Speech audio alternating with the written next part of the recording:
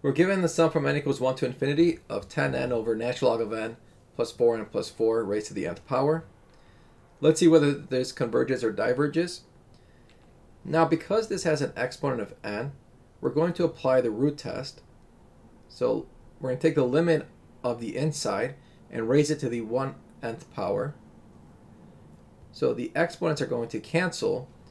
And so we're just looking at 10n over natural log of n plus 4n plus 4.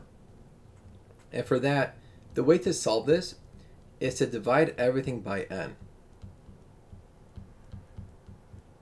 So when you divide everything by n, that's going to equal 10 over natural log of n over n plus 4 plus 4 over n. 4 over n goes to 0, and the natural log of n over n also goes to 0. And to prove that, we can use L'Hopital's rule.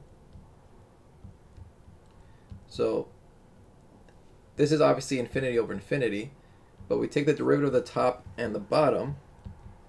We have 1 over n, and then the denominator is just 1. That clearly goes to 0. So we have 10 over 4, which is equal to 5 halves. And because the limit is greater than 1, the series diverges by the root test.